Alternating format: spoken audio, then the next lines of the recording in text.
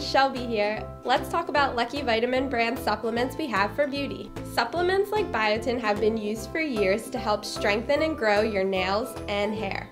This is our most popular one. It has 5,000 micrograms per capsule. Many of our customers take two per day. Lucky Vitamin has two hair, skin, and nail formulas. One is a capsule form, and one is a beauty chew. This chew not only has biotin, it actually contains collagen too. If you haven't heard by now, guys, collagen is becoming the new go-to ingredient for reducing wrinkles and strengthening your skin and hair. All our products are thoroughly tested for purity and potency. So what you see on the label is what you get in the bottle or bag.